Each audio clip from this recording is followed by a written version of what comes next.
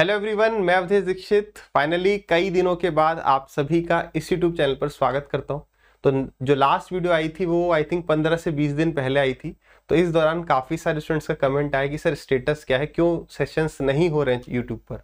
तो भाई, उसका मेन रीज़न ये था कि कुछ दिनों पहले अप्रैल के एंड में जो है मेरे को अपने डिपार्टमेंट से यानी इनकम टैक्स डिपार्टमेंट से लेटर आया। कि भाई बहुत दिन हो गए, ऑफ़िस वगैरह क्यों नहीं आ रहे हो? तीन साल हो गए धीरे धीरे करके। तो आप आ जाओ, वरना आपके अगेंस्ट डिसिप्लिनरी एक्शन लिया जाएगा। तो फाइनली मैंने अपने जो सीनियर्स हैं, उनसे थोड़ा सा डिस्कस करके फाइनली डिसाइड किया कि मैं इस जॉब से न चाहते हुए भी रिजाइन करूँगा, क्योंकि आगे ज्वाइन करने का कुछ चांस दिख नहीं रहा है। ठीक है तो वो सब चीज़ें मैं आपके साथ डिटेल में डिस्कस करूँगा। ठीक है, फिर से दोबारा से कोई नहीं पूछेगा कि सर छोड़ दिया डिपार्टमेंट या नहीं छोड़ा। मेन बात आपको ये समझने की इस सेशन से भी आपको क्या सीखने को मिलेगा? क्या मेरे से गलती हुई और बाई चांस मैं बच गया? रीजन बींग कि उस उस रैंक पर ऑल इंडिया रैंक 71 थी मेरी सी एल फिफ्टीन पर उस रैंक पर मैं आ, कोई दूसरी पोस्ट अपने होम स्टेट के आसपास ले सकता था या उतने अच्छे रैंक पर भी मुझे बैंगलोर क्यों मिला? तो वो सब गलतियाँ ताकि आप ना करें। मैं तो कैसे भी मेरा मन था मैंने ज्वाइनिंग से पहले भी पढ़ाया था मेरा पढ़ाना आप सबको पसंद आ पाया तो मैं यहाँ पर आगे बढ़ पाया। वरना काफ़ी सारे मेरे ऐसे सीनियर्स हैं जिनका बैंगलोर फंस गए, फिर उनको स्पाउस ग्राउंड पे उनने एप्लीकेशन भी लगाई ट्रांसफ़र की ट्रांसफ़र नहीं और उनको डिपार्टमेंट छोड़ना पड़ा। ठीक है? एक मेरे सीनियर है जिनको डिपार्टमेंट ने निकाल दिया, किसी रीज़न से, वो भी स्पाउस ग्राउंड पर ट्रांसफ़र चाह रहे थे, वो भी नहीं आया एक दो साल तो उनको निकाल ही दिया। ठीक है? तो ये सब चीज़ें हैं। तो ये गलती आपको नहीं करनी चाहिए और आगे मेन बात है, हम इस यूट्यूब चैनल को आगे किस तरीके से बढ़ाएँगे, क्या यहाँ पर आपको सेशंस देखने को मिलेंगे, ठीक है? तो स्टार्ट करते हैं। विदाउट वेस्टिंग एनी टाइम कि आपको इन सेशन से क्या सीखने को मिलेगा? सबसे पहली बात, अच्छी रैंक आ गई, हर बार नहीं आएगी।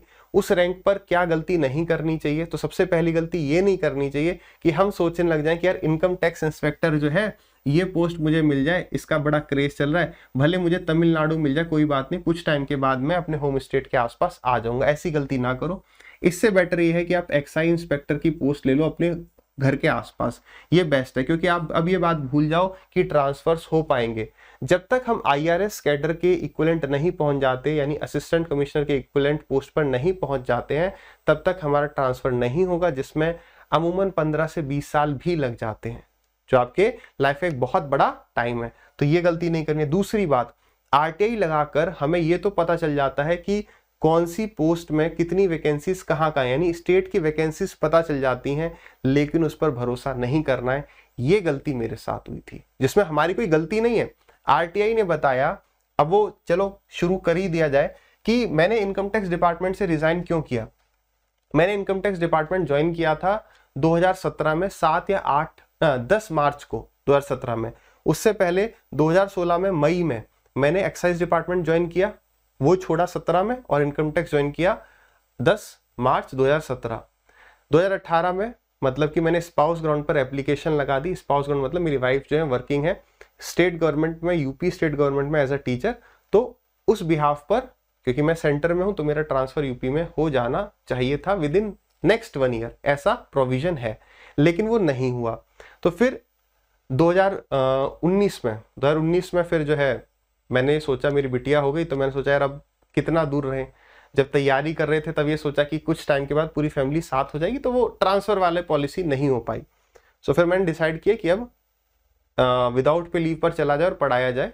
ठीक है? तो वो चीज़ फॉलो करी बट उसके बाद भी तीन साल हो गए, यानी कि 2017 में डिपार्टमेंट ज्वाइन किया 2019 तक जॉब करी है दो साल हो गए। उसके बाद अब तक तीन साल हो चुके हैं विदाउट पे लीव जिसमें भी ट्रांसफ़र नहीं हुआ।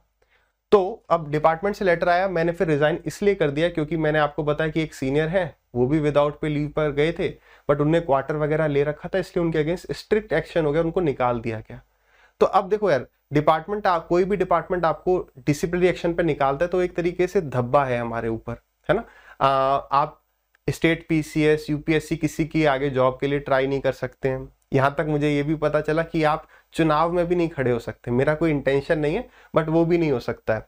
ठीक है तो इसलिए फाइनली मैंने डिसाइड किया कि यार डिपार्टमेंट निकाले से अच्छा मैं फाइनली रिजाइन कर देता हूँ। तो मैंने सिक्स मई को रिजाइन कर दिया।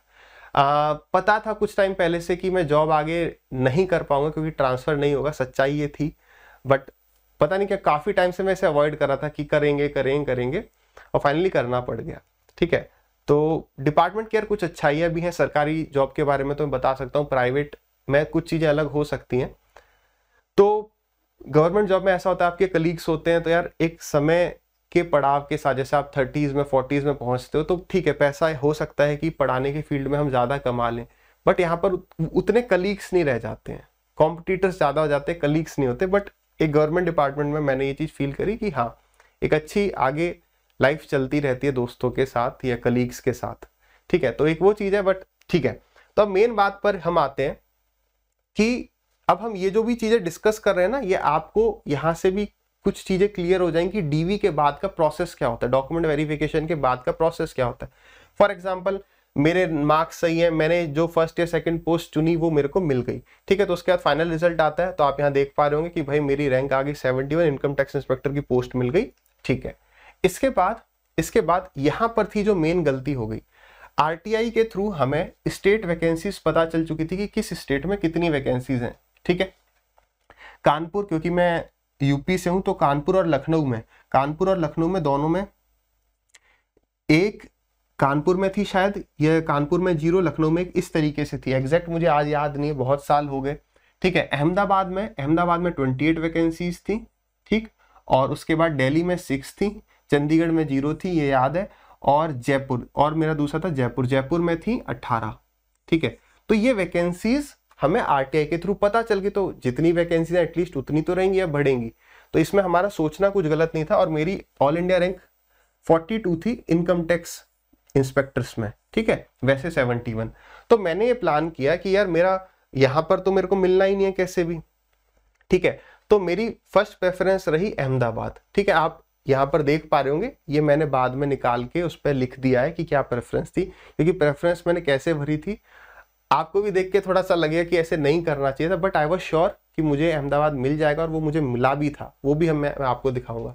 तो गलती ये होगी कि इसको हमने फाइनल मान लिया तो देखो 28 और यहाँ पर हमारे छः thirty four thirty four plus अपना eight forty two fifty two fifty two vacancies जो थी, वो इन्हीं तीन जगह पर थी ठीक है, और एक वैकेंसी है। तो मुझे पता था यार, इन तीनों में से कहीं मिल ही जाएगा और मुझे पता था ये नहीं हो पाएगा, ये भी नहीं हो पाएगा, यहाँ पर मिल जाएगा। तो मेरी फ़र्स्ट प्रेफरेंस अहमदाबाद ही थी, दिल्ली वैसे भी चाहिए नहीं था और मिलना भी नहीं था, ठीक है। तो फ़र्स्ट प्रेफरेंस मेरी रही गुजरात सेकंड प्रेफरेंस रही थी मेरी जयपुर थर्ड प्रेफरेंस रही थी चंडीगढ़, वहाँ ज़ीरो वैकेंसीज थी फोर्थ दिल्ली। और उसके बाद मैंने सीधे five six seven eight nine ten ऐसे करके भर दिया, ठीक है। उसके बाद क्या होता है, उसके बाद क्या होता है यहाँ पर आप देखेंगे जोन एलोकेशन हो गया और मुझे यहाँ पर अहमदाबाद मिल भी गया। और उसके बाद ये चीज़ आती है कि भाई अहमदाबाद ने वैकेंसी ज़ीरो कर दी और वो ज़ीरो वैकेंसीज होने के बाद ये वैकेंसीज ट्वेंटी बड़ी बैंगलोर में और कोची में। अब आप बताओ, अब ये 18 और 6 ये 24 25 25 वैकेंसीज खत्म और यहाँ पर तो मेरा नंबर आया ही नहीं। अब गलती यहाँ पर ये हुई, आप देखो बैंगलोर पहले है और भोपाल बाद में। एक्साइज इंस्पेक्टर भी मुझे बैंगलोर ही मिला था, तब तो रैंक बेकार थी। ठीक है, भोपाल मिल जाता अगर दिमाग में ये बिल्कुल भी सोचा होता कि यार ऐसा भी हो सकता है, कभी नहीं सोचा। फिर से फॉर्म नहीं भरवाया जाएगा आपसे स्टेट एलोकेशन का। बात को समझिए, एक्साइज इंस्पेक्टर की पोस्ट पर अभी भी शायद वो देते हो, हमारे टाइम पर तो देते थे कि किस स्टेट में कितनी वैकेंसी वो भेजते हैं। तो उस पर आप मतलब जो है रिलाई कर सकते हो कि ठीक है ये है, फिर से फॉर्म आपसे भरवा लिया जाएगा, लेकिन इनकम टैक्स इंस्पेक्टर की पोस्ट पर केवल ये फॉर्म भेजा जाता है, कहाँ कितनी वैकेंसी कुछ नहीं भेजा गया। तो हम नहीं कह सकते ना कि आपने भेजा था भाई, कि इतनी इतनी वैकेंसी अब आपने ज़ीरो कर दिया, हमसे, हमें फिर से भरवाओ। नहीं तो ऊपर लिखा भी होता है कि अगर मान लो यहाँ पर वैकेंसीज चेंज होती हैं तो आपकी नेक्स्ट प्रेफरेंस को कंसिडर किया जाएगा। तो ये एक मेजर दिक्कत थी यार, गलती थी जो हो गई, ठीक है? आप ये मत करना उसको हम चाहकर भी चेंज नहीं कर सकते उसके बाद फाइनली जो है मेरे को इनकम टैक्स इंस्पेक्टर बैंगलोर मिल गया। आप यहाँ देख पा रहे हैं, ये तो वैसे ट्रेनिंग का लेटर है। वो ज्वाइनिंग वाला लेटर नहीं है वो कहीं होगा। तो वहाँ पर ये लेटर फाइनली आया। और उसके बाद ये है हमारा आखिरी लेटर डिपार्टमेंट को अब देखो, इसका क्या रिप्लाई आता है, एक्सेप्ट ही किया जाएगा। तो ये हमारा फाइनली रेजिग्नेशन लेटर रहा। ठीक है तो आई होप आप इससे कुछ तो सीखेंगे कि यार जोन एलोकेशन फॉर्म जो है स्टेट प्रेफरेंस फॉर्म जो है, उसको बहुत बहुत सीरियसली भरना है। और सबसे पहले तो पोस्ट प्रेफरेंस भी बहुत सीरियसली भरना है कि यार साउथ में ना जाकर, क्योंकि ट्रांसफ़र नहीं है, मैं नॉर्थ में कोई दूसरी पोस्ट सोच लूँ अपनी रैंक के हिसाब से, ठीक? अब आगे लास्ट और मोस्ट इंपॉर्टेंट पॉइंट आता है कि यार आगे इस यूट्यूब पर हमारा प्लान क्या है? सबसे पहले राइट डायरेक्शन फॉर बिगनर्स हम फिर से शुरुआत करेंगे। ठीक है, क्योंकि जितने भी स्टूडेंट्स स्टार्टिंग से पढ़ रहे होंगे 2018 से 17 से मैंने पढ़ाना शुरू किया तो काफ़ी सारे स्टूडेंट सिलेक्ट हो चुके होंगे और काफ़ी सारे ऐसे भी होंगे जो छोड़कर आगे किसी जॉब की तैयारी या फिर किसी प्राइवेट जॉब पर काम करना या जो भी बिज़नेस है उस पर काम करना उन्हें शुरू कर दिया होगा। अब हम फिर से एक शुरुआत करेंगे, जिसमें मेन कोशिश रहेगी राइट डायरेक्शन फॉर बिगनर्स देखो, सबसे पहली बात, किसी भी सरकारी जॉब के लिए, किसी भी तैयारी के लिए, किसी भी काम के लिए सही दिशा बहुत आवश्यक है, चाहे वो सही दिशा आप खुद बनाएँ बाकी लोगों के इंटरव्यूज़ देखकर, अपने ऊपर विश्वास करते हुए वो पॉइंट्स लिखें, या फिर कोई सिलेक्टेड कैंडिडेट है जिसने बहुत सारे एग्ज़ाम दिए, उसके जो भी उस मतलब बात वही है, उससे वन टू वन बात करें या कुछ भी, उसके सजेशंस पे अमल करें, वो। अगर कोई एक, किसी के पिताजी आईएएस बन गए, किसी का भाई आईएएस बन गया तो बाकी भी उस परिवार में आई बन जाते हैं। तो अगर आई जैसी जॉब आपने इंटरव्यूज़ भी देखे होंगे, वो अगर खुद की मेहनत से हो सकते तो यार एसएससी वगैरह क्या है? और कई, कितने ही कैंडिडेट्स ऐसे हैं जो बिना तैयारी के एस मतलब बिना किसी कोचिंग के कोचिंग क्या है? कोचिंग से मेन आपको डायरेक्शन ही मिलना है, अगर सही मिल गया तो। अधिकतर गलत मिल जाता है। लाखों, हर बच्चा कोचिंग कर रहा है। तो आप दूसरे से अलग कब होंगे? जब आप अपने खुद दिशा एक एक एक सही पाथ पे काम करेंगे। सबसे इंपॉर्टेंट है किसी भी तैयारी में बहुत सारी प्रैक्टिस बाकी वरना हम जो है डाइवर्ट होते रहेंगे कि भाई ये वाला कोर्स ले लेते हैं, ये वाला कोर्स लेते हैं, ये ले लेते हैं। कोर्स लेने से बहुत ज़्यादा फ़र्क नहीं पड़ने वाला। मेन सही दिशा की आवश्यकता है तो उस पर हम बातचीत करेंगे, क्या स्ट्रेटजी रहनी चाहिए, इस इस पर काम करो। इस पर मेन फोकस मेहनत तो करनी ही करनी है, साथ ही साथ सही दिशा बहुत आवश्यक है। उसके बाद हम लेटेस्ट पीवाई क्यूज करेंगे, चाहे वो चैप्टर वाइज फॉर्मेट में हो, ठीक है? चाहे वो टॉपिक वाइज या फिर मिक्सड फॉर्म में हो, ठीक है? आपको जिस भी एग्ज़ाम के पीवाईक्यूज करने हैं, वो आप कमेंट सेक्शन में कर देंगे। या मान लो बिहार पुलिस के, मान लो आपको सवाल करने हैं, आपके पास पीवाईक्यू आपने कहीं से इंतज़ाम कर लिया, आप मुझे मेल कर दो। ठीक है? मेल का लिंक भी हम नीचे डिस्क्रिप्शन में डाल देंगे और फिर उसको हम सेग्रीगेट करके टाइप वगैरह करवा के वो भी कर लेंगे। ठीक है? तो उससे फ़ायदा ही मिलेगा, चाहे आप कहीं का भी करो। जूम मीटिंग मैं कह रहा हूँ एटलीस्ट हम महीने में एक करा करेंगे फ्रेशर स्टूडेंट के साथ।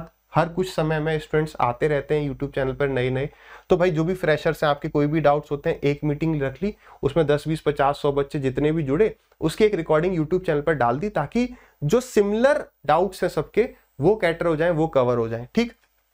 और last but not the least सबसे इंपॉर्टेंट ये भी है कि आपके जो भी सजेशंस हैं, आप जो है उसे कमेंट सेक्शन में बता दो कि सर, हम ये चाहते हैं कि ये ये आप आगे करवाएँ। उसको डेफिनेटली करेंगे।